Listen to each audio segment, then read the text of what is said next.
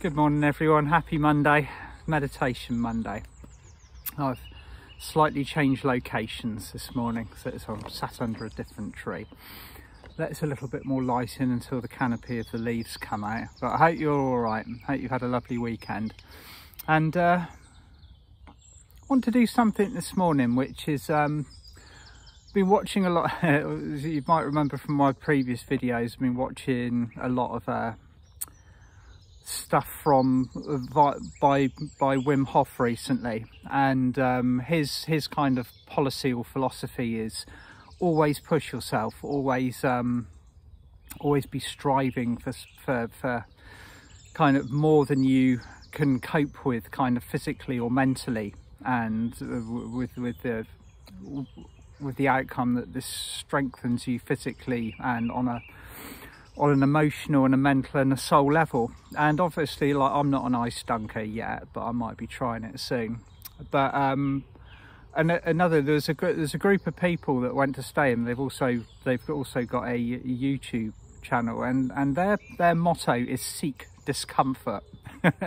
Now I know this kind of goes against the grain slightly, but if I look back over the years that I've spent kind of being me and and um, and kind of the way that I've I've dealt with being a physical soul on this planet, it seems to me that I've always I've always been seeking discomfort in one way or another. I've always been I've, I've been always been an athlete who's who's strived to work to, to achieve at a high level you know this is partly because I do you know on a human level I'm, I am competitive and I, I have that aspect of my nature which I which I I like to honor but one of the ways that this has come out has been very much through the spiritual work that I do as soon as I stepped onto the spiritual pathway I was push, push, push. You know, I wanted the most light in my system. I wanted to do the most powerful meditations. I wanted, I, you know, like it was I was striving to achieve the goal that we are all achieving naturally but like way ahead of my time and that pushed that pushed me through some fairly intensive physical changes you might have heard me tell the story about um, when I first downloaded my 12 chakras in 2003 or 2004 after Diana Cooper bought the meditation out and after persisting with them for six weeks solidly like you know that you get that column in get it anchored eventually i cleared what i needed to clear very rapidly but in the process of doing so booted myself into a. Uh, I needed to recover physically for six months basically after doing that it took my body and my energy feels quite a considerable time to readjust but that is naturally what we're going through at the moment it's almost like you know we i did it ahead of my time so that i know the process that we are all being, you know, like not subjected to, but we are all undergoing at the moment. So what I want to do this morning is is propose a seven days of light. Okay, now this this is designed to push you if you are participating, if you want to participate, but not so much that you find discomfort or or that that you are that you are out, you are out of your usual zone because I know that we are all being kind of we are all being challenged by our circumstance at the moment but we respond and react differently to light and the inflow of light now than we used to because now it is more our natural it's more our natural territory was before we were striving to move quickly from 3D to 5D so the transitions were more jarring. What we are dealing with mostly at the moment is energies that are being released on a on a denser level and and that is the most challenging thing where these colossal fear releases around the planet are all coming up. We are for want of a better word we are the alchemists we're the ones who are like right okay all of this is being released again. I, I, you either bring it through your own bodies and fields and you alchemize it, or you do it as a group, or you do it even consciously. Say, for example, calling in a seven-day downpouring of the silver violet flame or or the the golden rainbow flame. We're always consciously striving to, in some way or another, push ourselves out of our boundaries. So, seven days of light. What I'd like to do is is pick you the the the seven suns that we moved to on the on the winter solstice last year. So that will be Rigel, the sun of Orion, Sirius A, Alpheratz, the sun of Andromeda, Alcyone, the central sun of the Pleiades, Arcturus, and Antares, and Vega of the Lyran constellation. So each day, starting today with Rigel, pick a sun and bring it into your four and bring it into your four body system. Now, this might not work for everybody, but just recently I've been kind of prompted to push or, or invoke my light levels at a level that is higher than 100%. So the ascension process triggers when our light quotient, uh, it's a Joshua, Joshua David Stone term or technique, your light quotient, when it hits 89.5, the ascension process triggers. Now we have all surpassed that level now. I don't think there's anybody on the planet, regardless of their level of consciousness, whose light levels are lower than 89.5. Otherwise they wouldn't be able to physically kind of exist in this space. And it, it kind of finishes on the other end at 95. So that is the bandwidth. So it's 89.5 to 95% light quotient to be within the fifth dimensional bracket. Now, just recently, I've been guided to push for 120, 120%. So that's what I've been doing. When I bring in a light quotient, I bring it in at 120%. So I close my eyes and I ask Archangel Metatron for a light quotient increase. You can all do this with me now if you want. If you just close your eyes and take a deep breath in. And as you breathe out, Call to beloved Archangel Metatron and ask him for a light quotient increase, but do it above 100%. Okay, so it might be 105 or it might be 110 or it might be 101 whatever you whatever number that you are guided for now do it i was told to go for 120 but i've been doing this a long time and i know my bodies and fields so Ask Archangel Metatron for a light quotient increase. And just do it a number above 100% and just take a few moments to feel the light above you building. And he's holding this particular ball of light in his hands ready for you. Now this, this light this morning, because this is seven days of light, is coming from Rigel, the Sun of Orion and it is beautiful blue-white light filled with codes of higher wisdom and knowledge. So just sense and see Archangel Metatron high above you with this ball of beautiful blue-white light in his hands. This light from Rigel. And now feel him pouring it down from the heavens and see it being received by the chalice of your stellar gateway, which is about a metre above the top of your head. See the golden cup or the golden chalice of your stellar gateway opening to receive the light from Rigel.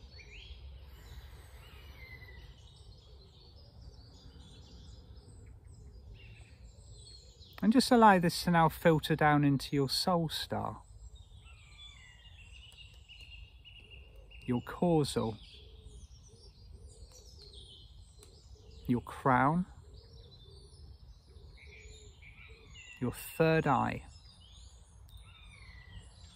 your throat. Just let it, let it rest in your throat. Do any clearances or any loosenings of energies that it might need to do.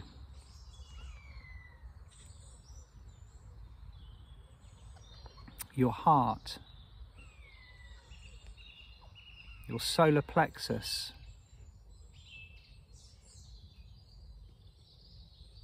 and just pause for a moment in your solar plexus because there is a lot of energies that we are taking in from outside sources, from people that might be in states of distress at the moment.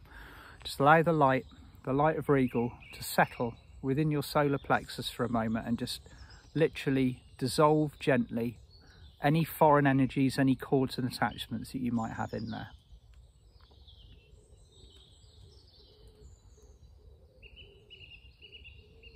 and just feel them dropping away.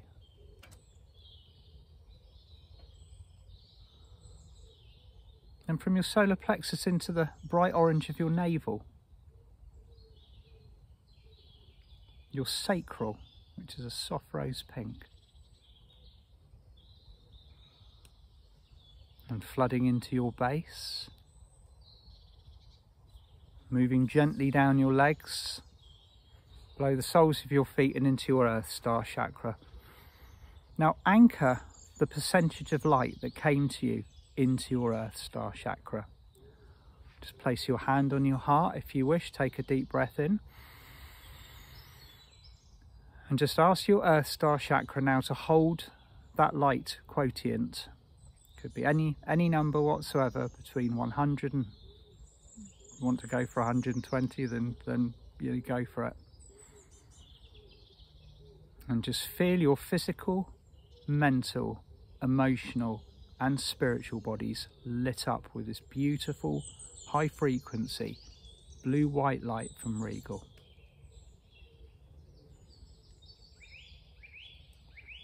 allow the light to expand from the chakra points outwards so that you are literally glowing with this light. Feel it releasing any resistance, feel it just kicking anything out your bodies and fields that you don't want there. We've all taken on plenty of stuff recently and we're releasing plenty of stuff, so just allow the light to do its work.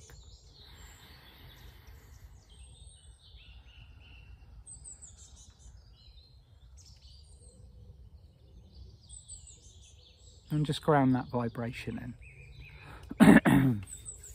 Okay. Now open your eyes. Now tomorrow, do Sirius A. Okay, so that Tuesday will be Sirius A. Wednesday will be Alpheratz. Thursday will be Alcyone. Friday will be the mighty Arcturus. Saturday will be Antares. And Sunday will be Vega, okay? And then of course we're back to Monday and we start something new again at that point. So pick a sun and uh, what I'll do is I will include the I will include the suns in in in day order in the text at the, at the, at the top of this video and uh, yeah so just feel the difference that light has made uh, that that light has made to you this morning. It's like we we have got an abundance, uh, just a, like a a veritable gem store of ascension energies coming in at the moment. It's a case of working with them. And, and yes, it, in many cases, it does mean pushing ourselves a little bit beyond the limits of our comfort, the limits of our new, our usual boundaries. We are striving to move forwards at the moment. And that brings me briefly on to cover a subject that actually makes my heart sing with joy. It's like my, my job on this pathway for, for many years, especially since I've been kind of meeting people in the field. I suppose one of my mission directives is to gather the teachers and nothing makes me happier than seeing people actually take the transition from from where they were originally into the, the, the flourishing kind of like the, the soul pathway. Now this is a big jump and many of you know what I'm talking about because we're all, uh, in many ways we've been asked to do it at the moment.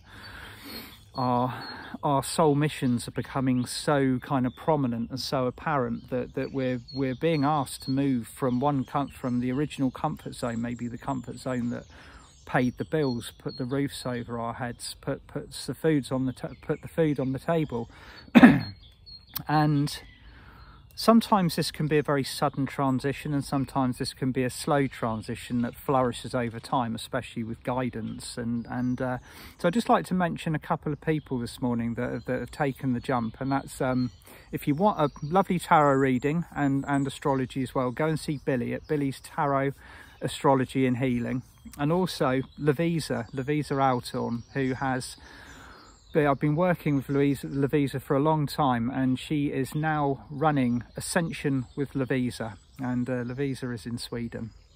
And Billie is in is in the UK so yeah check check them out. I'll, I'll include the YouTube links in in the bottom of the video. But this is um taking the step from from what was into the ascension pathway is a big leap and uh, I think of for all of you that are making that leap at the moment I salute you lots of love to you all so happy Monday I hope I hope the light has lit you up and made you feel different. Like I say, there's one for every day of the week this week.